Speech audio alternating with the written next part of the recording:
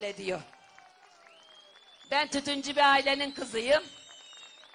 Tütün dizmeyi bilirim, pastal yapmayı bilirim, tütün kurutmayı bilirim, tütün yumuşatmayı bilirim.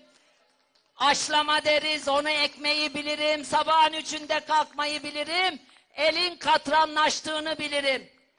E bunlar köyle alakası yok. Bunların köyle alakası yok kardeşim. Dolayısıyla ancak 16 senedir bev bev ağladılar. Şimdi soru soru şu. Yıllardır beş aydır soruyorum. Amerika ile dost musun düşman mısın? Ortaya çıktı ki dostmuş. Şimdi bu yandaş yazarlara çok üzüldüm. Nasıl dönecekler? Vallahi nasıl dönecekler? Belleri kırıldı belleri hepsinin. Belleri kırıldı dönüş yapayım derken. Sonuç itibariyle dış politikayı, güvenliği, sanayiyi, ekonomiyi birbirinden ayıramayız. Adalet sarayının içine adalet koymazsan, vatandaşın hakkını, hukukunu haksızlık yapmadan koruyamazsan, ekonomide yandaş kayırırsan, yanlış tercihler yaparsan, dış politikada şahsi ilişkiler üzerinden düşmanlık, şahsi ilişkiler üzerinden dostluk kurarsan, Türkiye Cumhuriyeti Devleti'nin itibarını iki paralık edersin. Bugün Türkiye'nin yaşadığı an budur. Bizim talebimiz şudur. Suriye meselesiyle ilgili dün akşam Amerika, İngiltere, Fransa biliyorsunuz müdahalede bulundu. Önce bir şey merak ediyorum. Genellikle Irak ve Suriye'ye yapılan, Batılılar tarafından yapılan bu müdahaleler genellikle ya kandil günü ya Ramazan ayında oluyor. Bunun anlamı nedir? Ey ahali, bizi yönetenler, size soruyorum. Bunun manası nedir? Bunu koyduk bir kenara. Eğer kimyasal silah kullanılmışsa böyle bir iddia var. Elbette cezasız kalmamalıdır. Ama Suriye'nin bütünlüğü de Suriye'nin toprak bütünlüğü de mutlaka sağlanmalıdır. Suriye, Irak ve diğer komşu ülkelerimiz güçlü oldukça elbette Türkiye daha iyi konumda olur. Ticaret yapar, yatırım yapar ve ekonomisi gelişir. Şimdi dış politikanızda bir tarafta Rusya, İran, bir tarafta Amerika ve Avrupa Birliği. Bir araştırma yaptırttım. AK Parti'ye oy verenlerin yüzde yirmi sekizi Rusya'yı çok acayip sempatiyle karşılıyor. Yüzde sekseni Amerika'yı düşman görüyor. Ey Sayın Erdoğan, Amerika'yı bugün alkışladın. Bir şey de demiyoruz, alkışladın. Peki bu yüzde seksen oranında sana oy veren seçmen, Amerika'ya düşman ettiğin seçmen şimdi ne yapacak?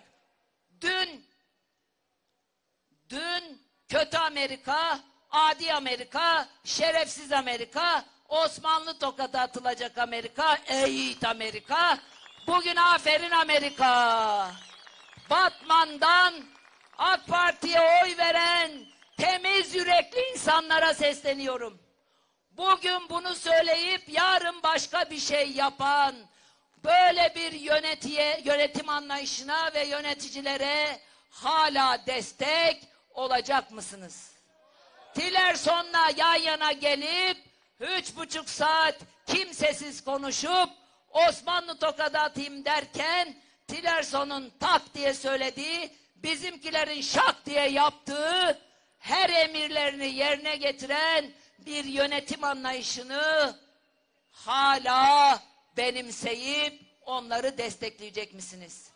Bugün burada hem şu meydanın içinde hem de bu bariyerlerin dışında bizleri izleyen, bizlere kulak veren değerli Batmanlı kardeşlerim, gençlerim, hanımefendiler, beyefendiler bugün burada İyi Parti'yi kulak vermiş olmanız, destek vermiş olmanız anlaşılıyor ki ister Kasım'da, ister zamanında seçimler yapıldığında elbette ki bu zulüm iktidarı, bu yalan iktidarı, bu insanları şaşkına çeviren kararlar iktidarı son bulacaktır.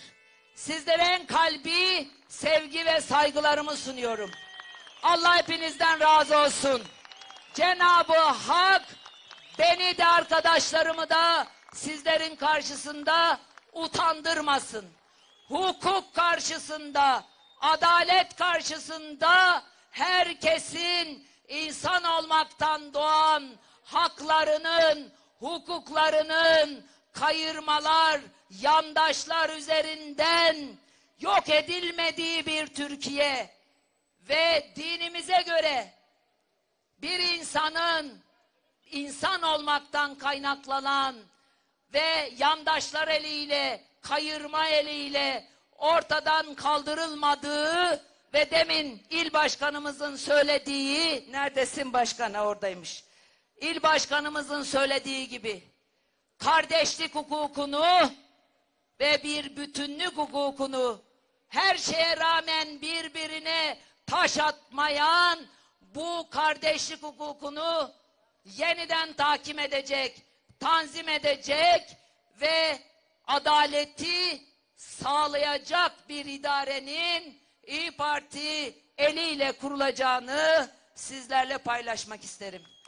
İyi ki varsınız. Allah'a emanet olun.